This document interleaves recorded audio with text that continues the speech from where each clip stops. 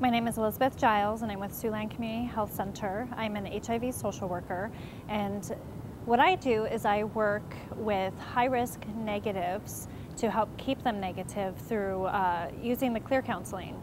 The most amazing thing about this as a prevention and treatment aspect is that people are now using condoms. They're talking about uh, HIV testing, they're talking about disclosure of status, what that means for them, and they're also bringing their friends in. So in the long run, working with uh, people who are negative actually impacts what we need to do in the future as long as they can remain negative.